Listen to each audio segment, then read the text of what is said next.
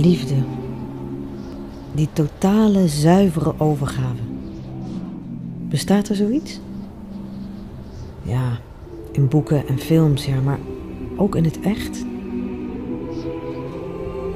Is liefde uiteindelijk niet gewoon een trucje van de natuur om er zelf beter van te worden?